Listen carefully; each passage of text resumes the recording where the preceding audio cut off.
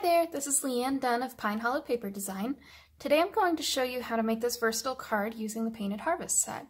So today we're going to do a card with these colors, but I also wanted to show you some of the other colors that we've done. So this one was done using Grapefruit Grove, and then this one was done using Bermuda Bay.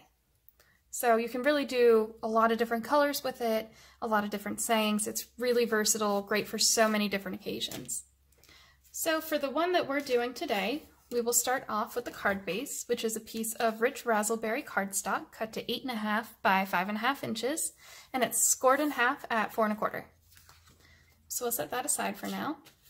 The piece that we'll be stamping on is a piece of the Wood Textures Designer Series paper, and it measures 5 and a quarter by 4 inches. So to start, we will use from the Painted Harvest set this piece here, which I refer to the thicker of the flower pieces in that set. And we're going to use Berry Burst.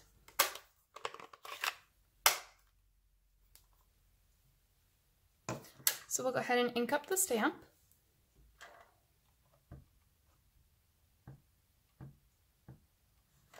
And we're going to stamp in an arc this way. So I'm going to start with the one that's going to be fully on the paper, which is going to be down in this corner. Just applying even pressure to make sure the whole image gets stamped. And then we're going to do a couple more. So we'll do one maybe about half up on this corner.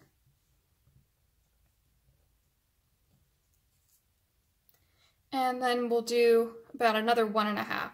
So we'll do another half down here. And just a teeny tiny little corner piece over here. Okay, so now we're done using this one. We're going to move on to the more detailed floral piece here. So we're going to switch from our Berry Burst over to Rich Razzleberry. And again, we'll go ahead and ink up the stamp. And we're going to stamp right over top of this image. This will be a little hard to see with my stamp because I've used it a lot, so it's been a little stained. But we're just going to go right over the center. And then we're just going to repeat with these other two. You can turn them, uh, have a little bit of variation there. All right, so now you have the basis of your flower, and now we're going to fill it in. So this set also has this nice little circle piece, so we'll go ahead and put away the rich razzleberry, and we're to move over to crumb cake. Go ahead and ink it up again. And again, we're just to stamp this right in the center.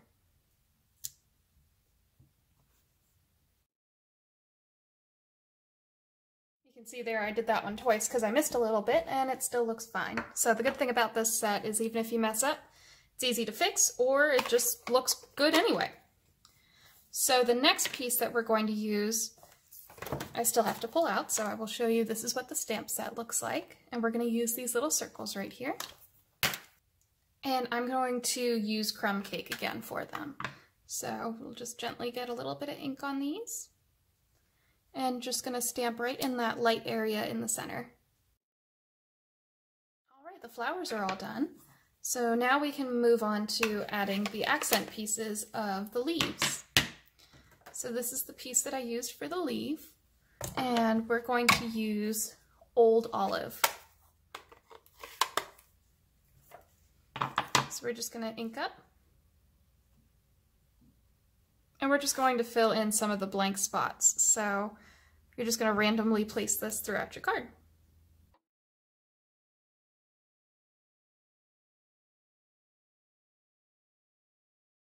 Okay, so now that we're done inking that up, we're going to go ahead and stamp our little saying on there.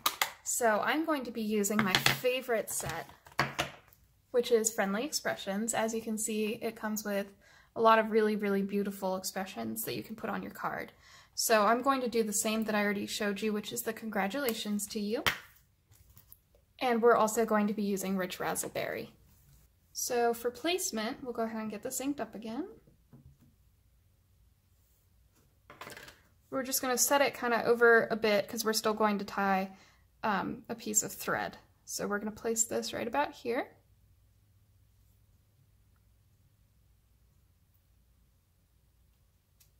And next we're going to tie our thread.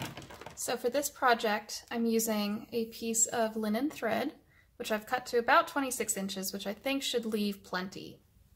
So I'm not the best at tying, so this will probably be fast forward.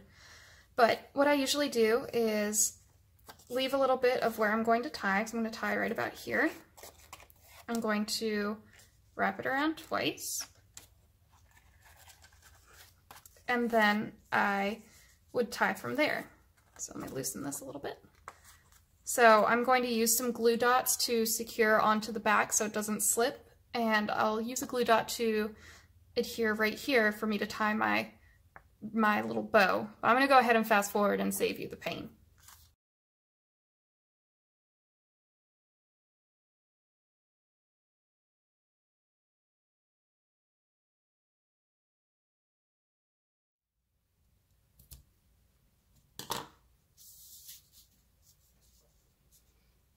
Okay, so now we've finally got that bow tied. I am so sorry. I don't know why I'm so bad at those, but I am. So now we can go ahead and attach it to our card base.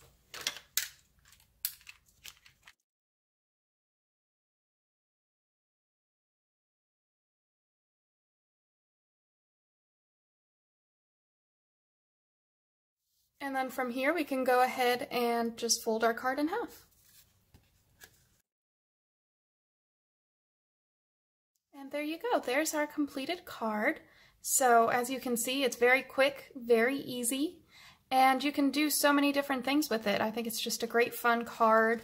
Um, you could do it on a plain piece of paper. There's other pieces in the Wood Textures Designer Series paper pack that you could use. So I encourage you, of course, to get creative with it. And if you try this out, I'd love to see what you've made with it. Well, thank you so much for watching. Bye!